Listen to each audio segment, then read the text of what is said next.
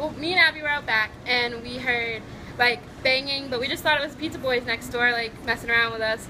And then she, Abby was like, "Does it look smoky out there?" And I was like, "Oh yeah, but it's whatever." Like didn't even acknowledge it. And then all of a sudden we saw like um, the fire trucks running toward, like heading towards right there, and they stopped, and so we were like, "Oh my god, what happened?" So we ran out there, and um, the next thing we see is like like one fire truck was out there and um, the car was like up in flames and the next thing we know the building caught on fire and it was crazy and then all of a sudden all these other fire trucks are here and like people are running around and screaming and crying and oh god it was crazy.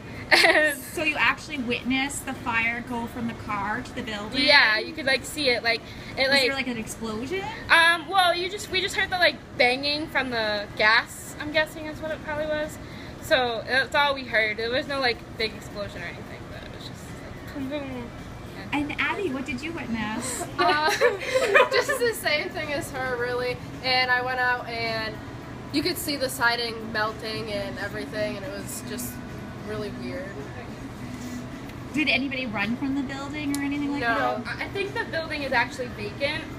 I'm pretty sure they're trying to remodel it or sell it or something, and I'm not sure. I'm pretty sure nobody lives there but I'm, there are people who live in the back of the building. There was already a bunch of people out here on the sidewalks.